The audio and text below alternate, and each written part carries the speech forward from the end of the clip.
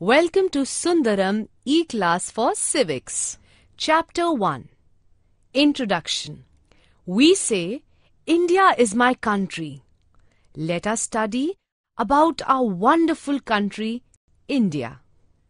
The place where we are born and brought up, where we play happily and grow up is a part of our country.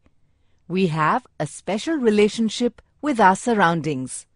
We develop love and affection for those who live around us. They become our neighbors, companions, and friends.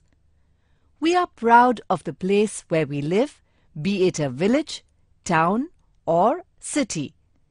Many such villages, towns, and cities make a country.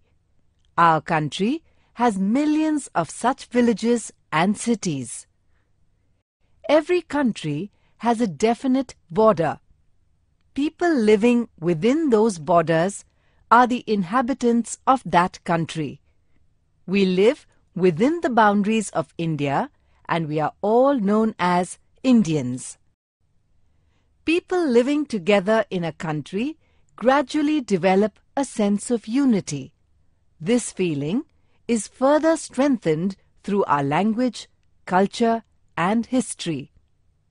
This spirit of unity turns a country into a nation.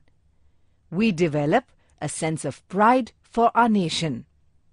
It gives stability to a nation and promotes development. We are able to successfully cope with any difficulties that our nation has to face.